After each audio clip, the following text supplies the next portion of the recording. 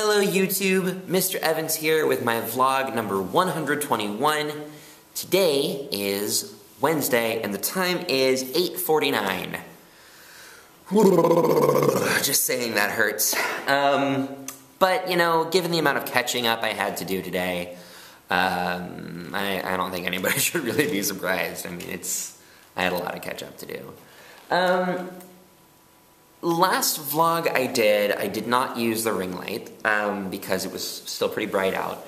Now, obviously, it's very dark, um, so I have the ring light back on, which caused a couple of issues last time.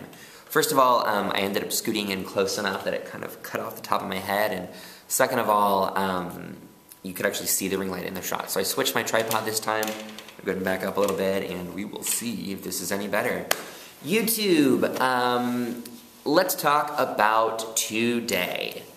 Um, first of all, like I said, a lot of catching up to do, which is why I'm here so late. I not only was I kind of grading a backlog of work, but even my backlog was um, needed some catching up because there's like usually I, I grade the paper versions of the work um, and then I can go in and do the digital versions later, but this time around I hadn't even graded the paper versions, um, at least of work for uh, yesterday. So today I was just like, okay, I am just gonna get, get fully caught up, and now I'm fully caught up. Um, today was overall a pretty good day. I'm pretty happy with it. Um, again, the things with which I'm unhappy are myriad. Um, so I don't really feel comfortable discussing them just because, um, you know, there's all sorts of things that hit hard as a teacher. Um, fix this little setup there. And today, uh, what it amounted to was uh, there's there's always that question of value, right? Like, do I have intrinsic value? Do I belong here? And um, there's nobody that's willing to provide that kind of feedback, honestly. Um, everybody wants you to, know how much better you can do your job. Um, but nobody wants to say, yeah, you can't. You're already doing everything you can and it's not working and it's just because you're not cut out for it. And I'd like to believe that that is because um, that is the case with everybody, right? Everybody could do this. If you're in this profession, it's because there was a calling. Something told you you should be a teacher. And I've always professed that that's not the case for me, right? This is just something that I'm doing for now because it makes sense. But that's not strictly true, right? Because even as a job that makes sense, it's taken a lot of work. It takes a lot of work, and yet I continue to do it. I want to do it.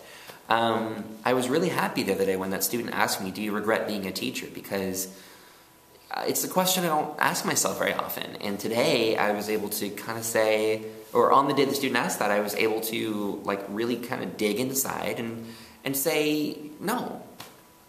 No, I, I, I think that, you know, I, I regret some of the choices. We already talked about this on a previous vlog, but what it came down to was I regret some of the choices I've made, I regret some of the way things are going, but I'm happy to be doing this job.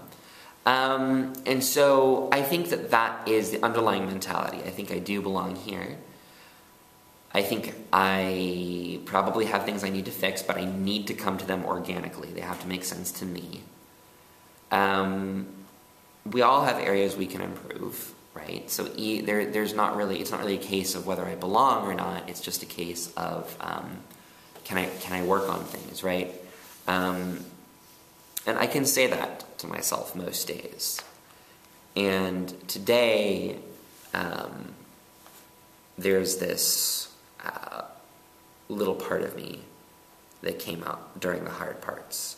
This little part of me that said, That's not true. You don't belong here. You're not cut out for this. And maybe you never will be. But the voice was quiet. Um, in fact, I'm not even 100% sure why I'm talking about it. Maybe just because it's so poetic. but I think the point I'm trying to make here is the struggle we deal with as a teacher. It, there's just many struggles, but the struggle within ourselves, that's the one that hurts the most. That's the one that's the hardest. Which I think brings me to the wonder quote of the day, which is by Mark Twain, who I love. I love Mark Twain. And he said, Always do right. This will gratify some people and astonish the rest. Um, he's great. Um, actually, that's not even my favorite quote by him. Just most of his quotes are, you know, nail on the head. Um, if only it were easier to know what the right thing is, you know? If only it were easier to know which end goal to serve, or which actions will ultimately be in service of that end goal. It's tough. For me. For a lot of people, I think. Um, what is right?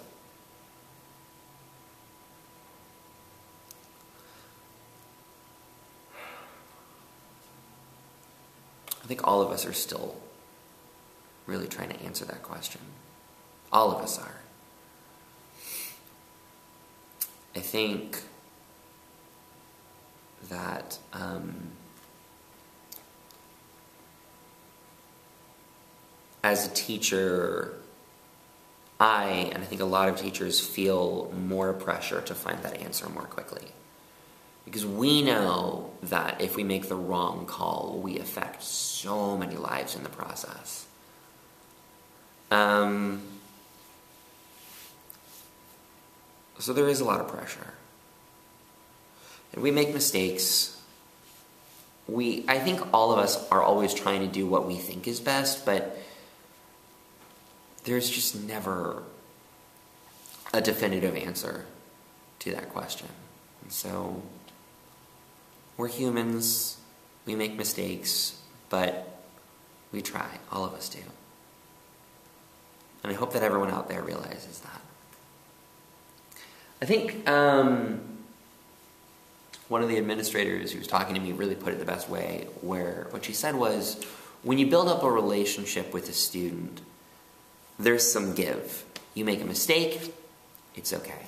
But when you have no relationship with a student, there's there's there's no give. If I say something like, um, you know, tur- turn to page um, 278. Oh, whoops, I meant 378 right? Uh, and I don't have a relationship with students in my class, you can expect that they're going to start shouting out, "Hi, you got the page wrong," or that kind of thing. But students with whom I have a relationship, with whom any of us have a relationship, you know, we can expect that there's that level of understanding. And so the question really is how do we build that relationship so that we have more flexibility to um, find what the right thing is? And it's a struggle, it's a lifelong struggle, which is a hard thing for me to admit, unfortunately. I would really love it if I could just come right out and say, like, but I'm to get there. But, you know, you, you never know where the pot of gold at the end of the rainbow is, do you? I guess that's just a truth of life. I'm starting to wax poetic and philosophical, which is a sign that I'm about to ramble off on a long tangent. So I think I'll go ahead and end there and jump into the things that made me smile today.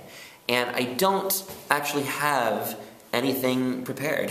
so you get to sit with me as I um, think of them because there were a lot of positives today. Um, for example, um, I got some support from one of the counselors um, on a, a, student who just I had had th- this student that there was an issue previously.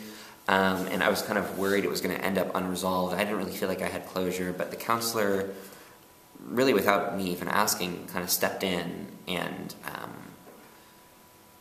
supported me and supported the situation and really supported the student in a way that uh, felt like there's some closure now, um, and it's it's good. So that's one big thing. Thanks, major thanks to that counselor for their support. I'm also uh, very grateful for um, the meeting that we had today to discuss, uh, well, there were many things we discussed, but part of it was uh, that we discussed uh, the future of what's going to happen here with um, coronavirus. Uh, I, I mentioned this briefly on yesterday's vlog, and I stand by the statement that it's not as big of a thing as people are making out of it. But that's sort of a moot point at this point. It's um, it's political more than anything else. I think you know where there's these moves that like I think there's a lot of political pressure to uh, to react uh, as though it has reached a certain level of severity. Um, and so today we sort of talked about what might future steps look like. And even though I'm not happy about all the steps that might be taken, I am happy that I'm not going to be blindsided by it. Um, that none of us are going to be blindsided by it. It gives us time to prepare and, and, and get ready. But it's not something I want to talk about too much right now, um, just because you know it's it's all very uncertain. Much like our understanding of the virus is uncertain. You know, we just we don't fully understand it, and so we, we're, we're playing things by ear. It's a rapidly changing situation, and it's not one that many of us have dealt with before. Uh, and the last thing that really made me smile today was getting all of my work done. Woo! Getting all of that stuff graded. Oh man, even though I had to stay so late to do it, it is such a relief um, to just have it all out of the way, you know? Um, so that feels really good uh, to be able to, to do. I get to come in tomorrow with a with a blank slate and not feel like I'm pulling things in uh, previously from what we uh, would worked on. So, um, yeah, a lot of lot of things to be happy about today. Uh, thank you so much. Oh wait, no, there was one more moment that made me smile. Uh, those little metal puzzles I have.